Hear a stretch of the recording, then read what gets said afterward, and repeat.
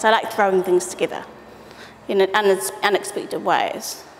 The throwing together of Māori and European cultures has inspired artists for more than a century. I've been playing with animating William Morris prints, and it was more about just um, seeing how two different, uh, quite different cultures and design cultures combined. When Wanganui Art School graduate Cecilia Kumeroa organised a group of Māori contemporary artists to do a show at their old school, she encouraged them to add their own input. But she'd already chosen a theme.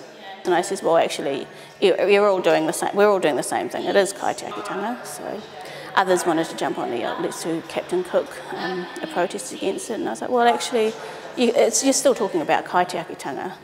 So you're still talking about um, uh, some things that have been seen as threats to our kaitiakitanga guardianship.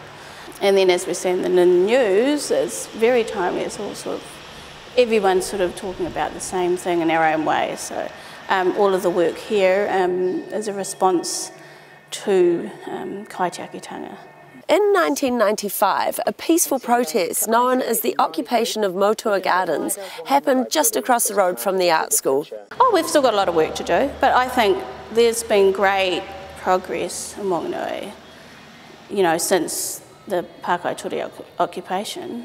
I was at art school, we were all at art school. The protest dominated the headlines and divided the nation, but it set the stage for positive change in the town. Really, it's about us maintaining our wanganuitanga, so our mana whenua. So um, we're the tangata whenua of this, of this area, of this land, and so that becomes a symbol for us, and that is like our you know, standing point where we go to and we quite often use it. The other day we went there and we um, stood in solidarity with Ihumātao, the people at Ihumātao. This old pa, with its mix of war monuments, still remains as it was in 1995, with the exception of New Zealand's Premier John Ballance's head. Removed during the occupation, the remaining plinth, like a contemporary artwork, a reminder of Wanganui's history. So we're still going through our Crown processes, um, not perfect, and it never will be, you know, in terms of, you know, as treaty partners, the Crown has not met its obligations. It's always in breach. it's always in breach. In my work in particular, with the Governor Grey um, attacking a PO, um, there's lots of issues in that that we still have to resolve. So he, of course, came to Wanganui and set up the Rutland Stockade and stuff like that. So, and that eventuated in the uh, Battle of St John's Wood. Um, and then after that, the year later, there was um, the Wanganui land purchase. While there's been lots of positive change in the past two decades, artist Sacha Keating says there's much more work still to be done.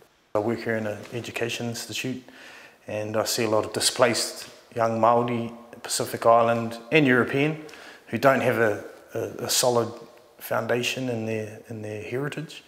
So they thirst for that knowledge as well as academia. So um, this piece is really just a representation of that journey that I see on a day-to-day -day basis. And I also live myself, you know, so. Um, I did read a piece the other day actually from the ex-Prime Minister Jim Bolger and, um, and he made comment about um, the obligation to the treaty and um, the fact that there was skullduggery in this initial document and the reason why the document was constructed, um, which I thought was interesting for a national government. You know, not my cup of tea, but I definitely agree with Mr. Bolger on that one for sure. Kumeroa and Keating are now focusing on their next show at the Edith Gallery in September. Georgie Ormond, Local Focus.